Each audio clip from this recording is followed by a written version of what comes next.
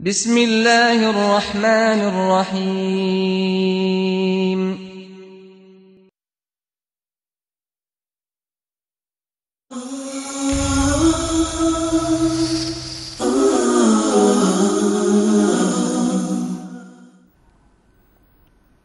আসসালামু আলাইকুম রহমতুল্লাহ সম্মানিত ভাই বোনেরা আপনারা সবাইকে স্বাগত জানাচ্ছি আমি আমার নাম ইসহাক আজকে আমার সাথে অনেক মূল্যবান ভাইরা আছেন মাসা আল্লাহ আমি খুব আনন্দিত আঁকি মাসা আল্লাহ আজকে টপিকটা হলো খুবই সিম্পল ফ্রেন্ডশিপ আমরা দেখতে পাই যে অনেক মা এবং বাবারা বলেন যে, আমার ছেলেটা খুবই ভালো ছিল। হঠাৎ করে সে একটা বন্ধু পেয়ে তার জীবনটা পরিবর্তন হয়ে গেছে।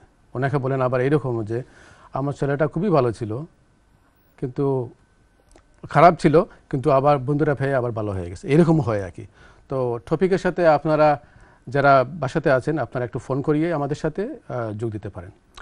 আমি আমার ডান দিকে চলে যাব পরিচিত করার জন্য। শাহেদুল ভাই আপনি একটু আপনার পরিচিত দিলে ভালো ধন্যবাদ ইসাক ভাই আজকের আপনার এই সুন্দর অনুষ্ঠানে আনার জন্য এবং আমার নাম সাইদুল ইসলাম। আমি ফ্রেন্ডস হেল্পিং সোসাইটির প্রতিষ্ঠাতা সহ সভাপতি এবং বর্তমানে সেক্রেটারির দায়িত্বে আছি।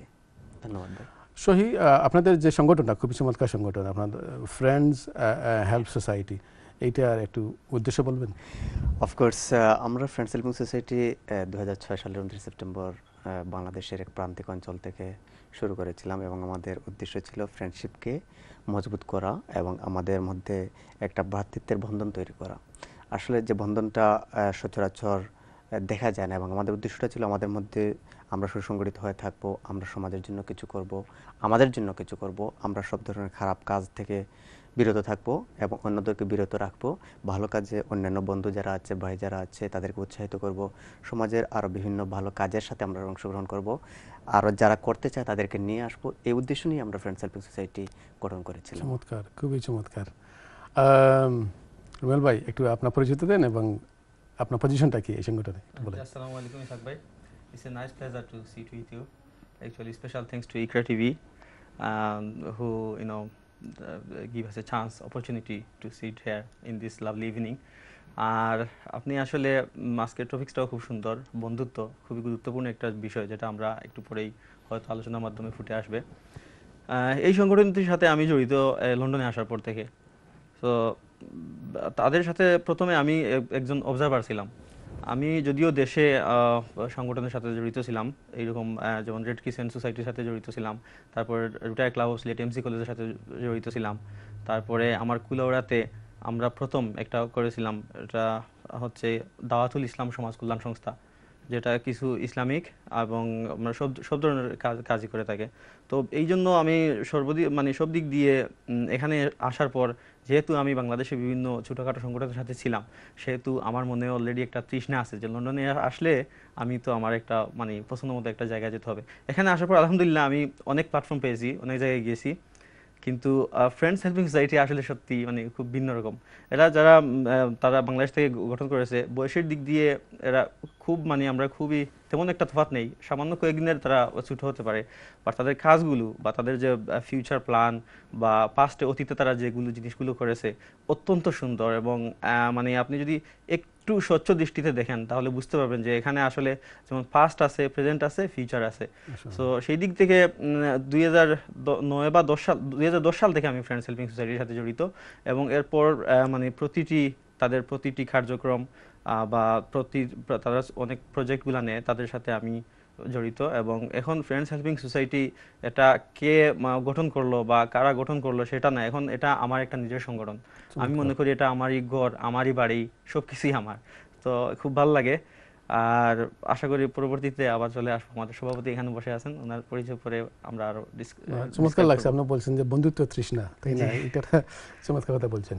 আম, আমার বাম দিকে তো শাহ আলম ভাই আছেন মাসাল্লাহ আপনি তো এই সংগঠনের প্রতিষ্ঠাতা। বা আপনি শুরু করেছেন, আপনার মেধা দিয়েছেন, সময় দিয়েছেন। চমৎকার বাইরা যা বলছে কি আপনার তো আপনার পরিচয় দিয়ে আপনার এই উদ্দেশ্যটা কি এই সংগঠনের? জি থ্যাংক ইউ ইসাক ভাই to having me on the show and thanks all the viewers those are watching the programme from around the world actually আমার আজকে খুব ভালো লাগতেছে যে এরকম সুন্দর একটা টপিক নিয়ে আপনারা এখানে ইয়ে করছেন ইনভাইট করেছেন আমাদের গ্রুপকে আসলে আমি ফ্রেন্ডস হেল্পিং সোসাইটির প্রতিষ্ঠা লগ্ন থেকে আসি এবং ফ্রেন্ডস হেল্পিং সোসাইটি এ পর্যন্ত যে আমরা বাংলাদেশ থেকে শুরু করে একটা প্রান্তিক একটা অঞ্চল থেকে শুরু করেছিলাম। আজকে বিশ্বের বিভিন্ন দেশে কাজ করতেছে, আলহামদুলিল্লাহ। এবং সেটা হচ্ছে শুধু আজকের টপিকের সাথে যে রিলেটেড আমাদের একটা স্লোগান রয়েছে যে বন্ধুত্বের সাথে গড়ে উঠুক সুন্দর পৃথিবী।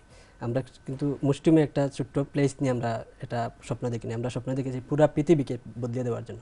এবং এই বদলা, বদলানোটা হবে ফ্রেন্ডস হেল্পিং সোসাইটির মাধ্যমে ফ্রেন্ড ফ্রেন্ডশিপের মাধ্যমে, বন্ধুত্বের মাধ্যমে। তো আমি সেটার সাথে বিগিনিং থেকে ইনভলভ এবং আশা রাখি আমি পৃথিবীতে যতদিন বাঁচবো, ইনশাল্লাহ সেটার সাথে থাকব ভালো খাদের সাথে থাকব। আর তার পাশাপাশি আমি এদেশে একটা কালচারাল গ্রুপের সাথে আছি, সেখানে আমরা ড্রামা এবং কৌতুক, গান এগুলা প্র্যাকটিস করি। এছাড়াও বাংলাদেশের একটা সংগঠন হচ্ছে নিষ্ঠা নিরাপদ সড়ক চাই। সেটা কিন্তু সেটা অনেক বড় একটা উদ্যোগ তারা বাংলাদেশে অ্যাক্সিডেন্ট হ্যাপেন্ডে একটু স্টপ করার জন্য, বাংলাদেশের মানুষের সড়কে নিরাপত্তা দেওয়ার জন্য একটা সংগঠন। তাদের সাথে আমরা ইউকে কমিটিতে আমি কাজ করি আর। চমৎকার, ধন্যবাদ। সম্মানিত ভাই বোনেরা, আপনারা আমাদের সাথে শরিক হইতে পারেন। আমাদের নম্বর আছে, আপনার you can see on the screen আমি বলে দিই তারপরেও O two O seven zero nine six zero four zero five আপনাদের বন্ধুত্ব কথা আমাদের সাথে শেয়ার করেন।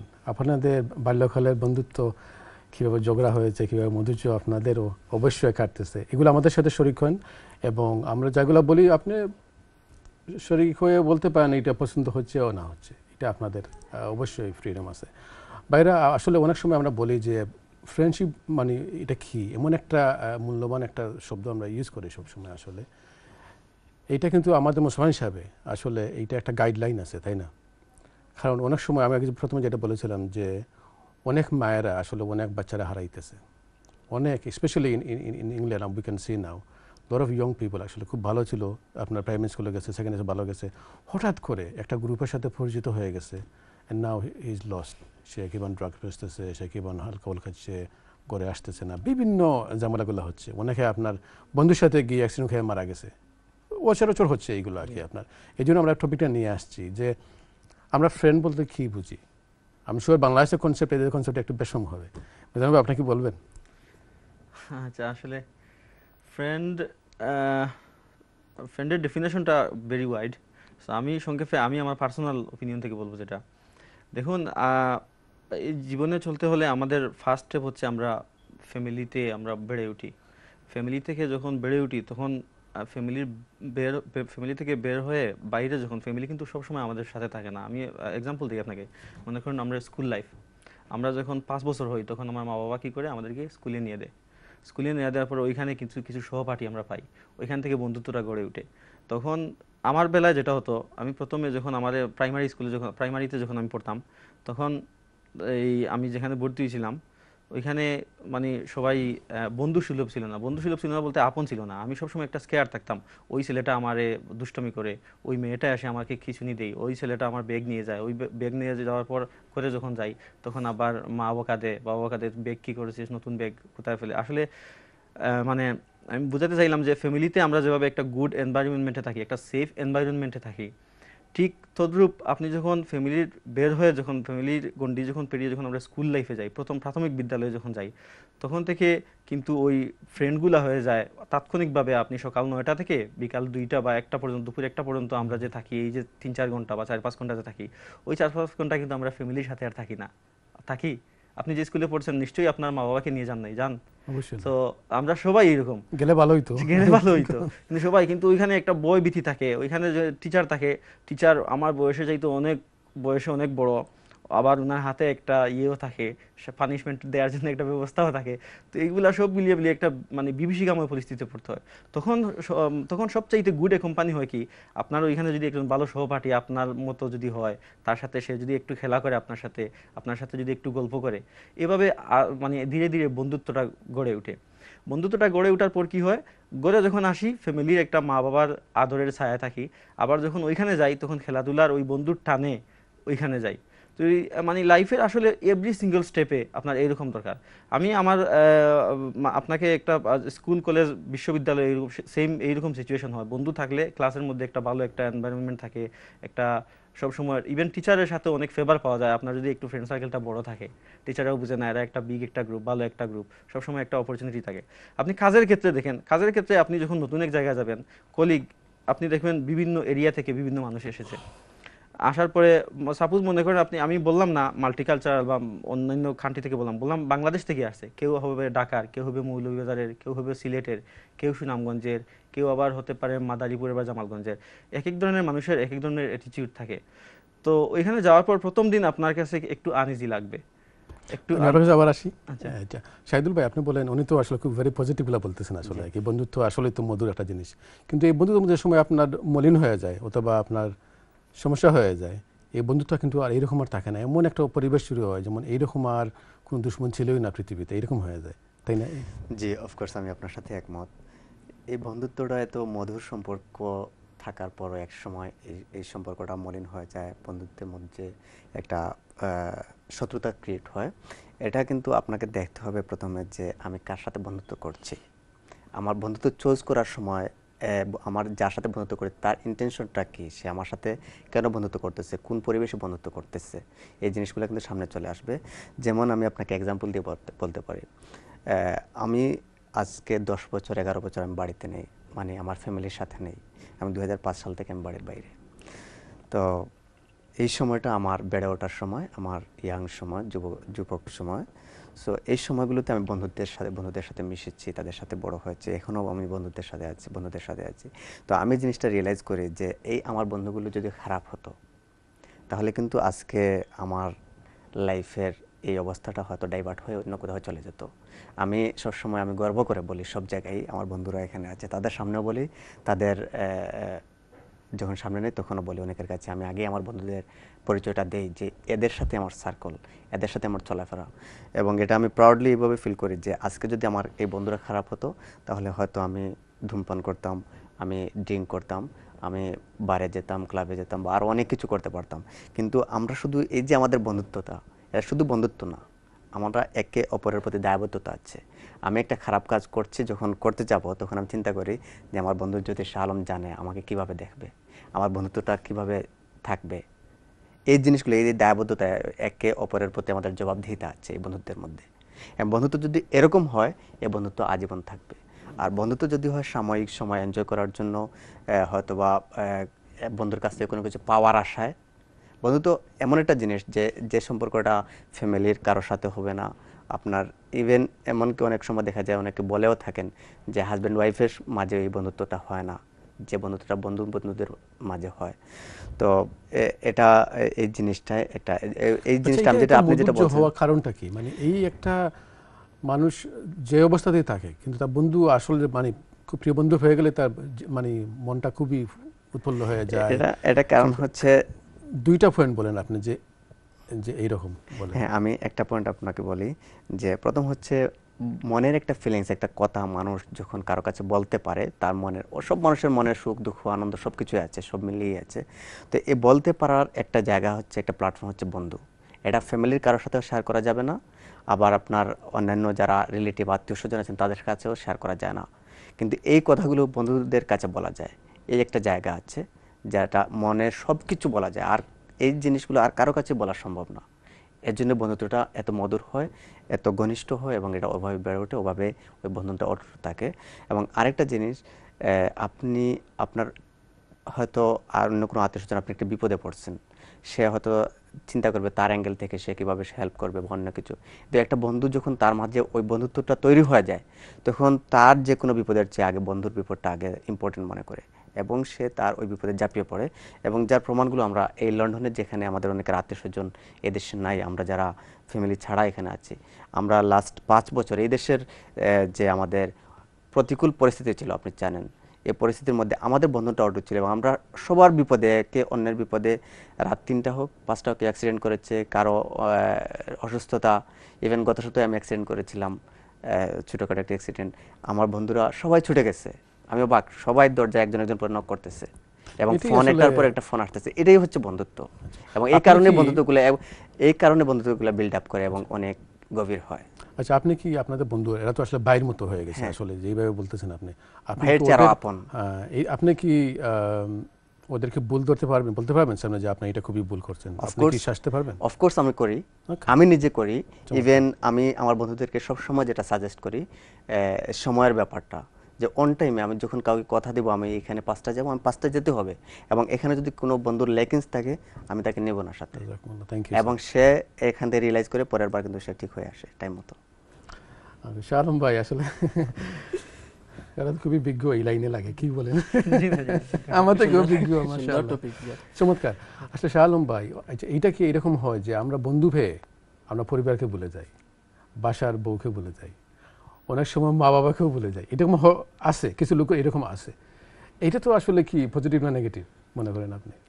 না আসলে ভুলে যাওয়াটা নেগেটিভ অবশ্যই কারণ মা বাবা তো আমাদের তাদের তারা আমাদেরকে লালন মানে ভুলে যাওয়া বলতে ওইটা কি যে আমার বন্ধু বলেছে আমি যাইতেই হবে আম সরি মা অথবা ড্যাড আমি আমি যাইতেই হবে।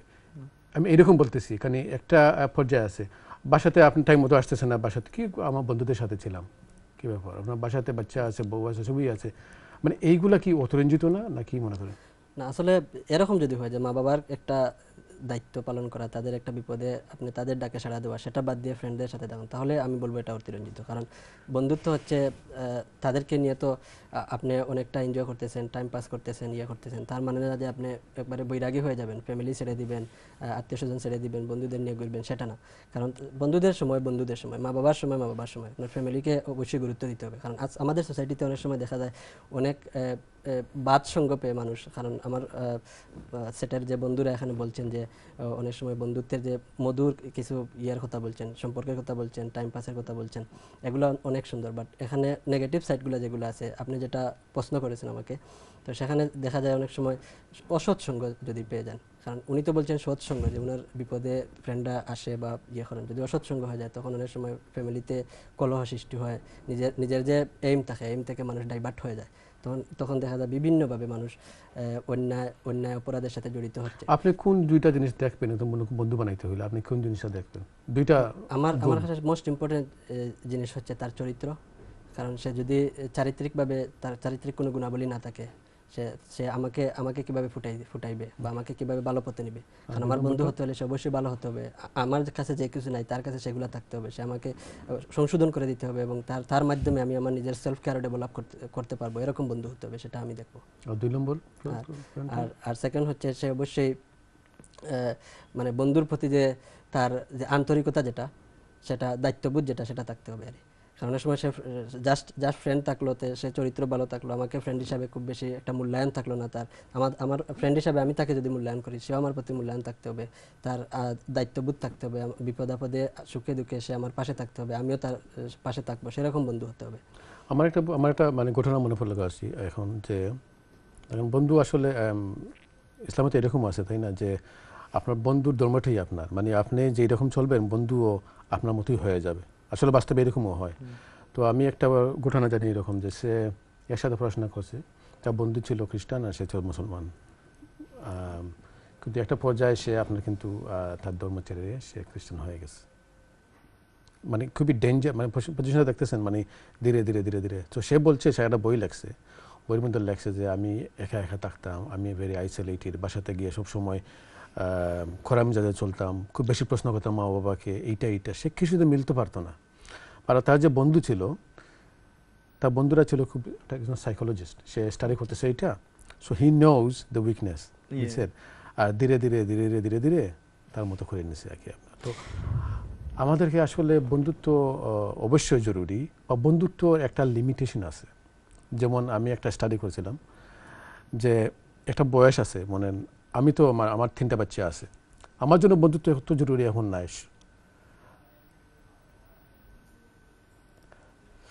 ওকে তো আমাদের যে জিনিসটা হচ্ছে কি যে, একটা বয়স আছে মনে করেন আপনার, আমার এখন বয়স অনেক হয়ে গেছে আসলে। তো আমার জন্য সমাজটা বড় হয়ে গেছে। সমাজে কি বলবে? সমাজে এটা কি করবে? আমি ওর সাথে চললে এইটা ওইটা হবে। আর যারা আপনার আন্ডার টোয়েন্টি ফাইভ এরকমই বলেন, তাদের জন্য আমার বন্ধু কি বলবে? এটা খুবই একটা বিষয় আপনার এটা জরুরি। যেমন আপনার সিক্সটিন থার্টিন ইয়ার্স আপনি বললে বলবে না আমার বন্ধু এটা পড়ে না। আপনার কথা না শুনে অন্য কথা বলবে। সো এটা আসলে সাইকোলজিটা এরকমই চলে আর কি আপনার। একটা পর্যায়ে গিয়ে আসলে এটা চলে যাবে। আমি ইসাক ভাইয়ের সাথে একটা কথা যোগ করতে চাই। যে বন্ধুত্ব কি আসলে শুধু সমবয়সীদের সাথে? মানে এরকম তো আহ, এরকম ফুটে তাই না? এরকম আসলে ফুটে। আমি পরে আমি পরে মিস্টার কারণ বলব যে আমাদের মা বাবা কেন আমাদের বন্ধু হয় না। হ্যাঁ আমরা আমার পরিবার কেন বন্ধু হয় না। এটা একটা জরুরি একটা জরুরি একটা মানে প্রশ্ন কি? কেন হবে না? শুধু এখানে পুরুষ আমার বন্ধু হবে? অফকোর্স হবে। যদি আমরা ওইভাবে বন্ধুত্বটা ক্রিয়েট করি, আমরা পরিবারের সাথে বাচ্চাদের সাথে মা বাবার মা বাবার সাথে, বাচ্চাদের ভাই বোনদের ভাইয়ের সাথে, বোনের বোনের সাথে, ভাইয়ের ভাইয়ের সাথে, ভাইয়ের, হবে না কেন? এবং এটাই তো বন্ধুত্বের সবচেয়ে বড় অভয়ারণ্য হচ্ছে আমি মনে করি পরিবার। পরিবার থেকে যদি বন্ধুত্বটা ফুটে ওঠে, তাহলে ওই পরিবারের একটা সন্তান, বাইরে যে তার বন্ধুকে চয়েস করবে, সে কিন্তু এখান থেকে একটা প্রাথমিক অভিজ্ঞতা অর্জন করতে পারে যে কে আমার বন্ধু হতে পারে, কে আমার জন্য আমার লাইফের কারণ একটা কথা আছে সৎসঙ্গের স্বর্গবাস অসৎসঙ্গের সর্বনাশ। এই জিনিসটা যদি সে রিয়েলাইজ করতে পারে পরিবার থেকে, তাহলে তার লাইফে বন্ধু চুজ করতে তার জন্য বেটার হবে এবং সে বিপদ থেকে বাঁচার সমূহ সম্ভাবনা আছে আমি মনে করি। কারণ একটা খারাপ বন্ধু যদি পেয়ে যায়, তাহলে সে কিন্তু শুধু তার লাইফ তো নষ্ট করবে, তার ফ্যামিলিটাকে নষ্ট করে দিতে পারে।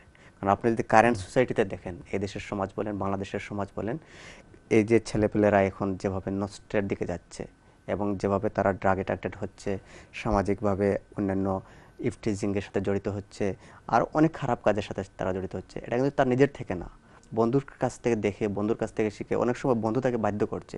সে যখন যাচ্ছে বন্ধুর সাথে বন্ধু সিগারেট খাচ্ছে সে বলছে আমি খাব না এগুলো ঠিক না। বন্ধু বলছে তাহলে তুই কাপুরুষ তুই তোর ফ্যামিলিকে ভয় পাস আস খাই আমরা ঘুরি। এই এইভাবে একজন আরেকজনের সাথে এই খারাপ বন্ধুই তাকে নিয়ে খারাপ ইয়ে করছে, খারাপের পথে নিচ্ছে। আবার একজন ভালো বন্ধু সে নামাজে যাচ্ছে, সে ভালো একটা কাজ করতেছে। যেমন আমাদের ফ্রেন্ডস হেল্পিং সোসাইটি আমরা শুধু বন্ধুত্বই করি না। আমরা যখন বসি এক কাপ চা খাই, তখন আমরা এখানে একটা ভালো চিন্তা করি। যে এই যে চাটা খেলাম, এই সময়টা স্পেন্ড করলাম, এখান থেকে ভালো একটা চিন্তা করার চেষ্টা করি। যে আমরা যদি এই বসার মাধ্যমে এবং এই চা, চায়ের কাপের টাকাটা বাঁচে যদি আমরা আরও সমাজের জন্য কিছু করতে পারি কিনা, এগুলিও আমরা চিন্তা করি। এবং আমাদের মতো আরও অনেকেই এইভাবে চিন্তা করতেছে।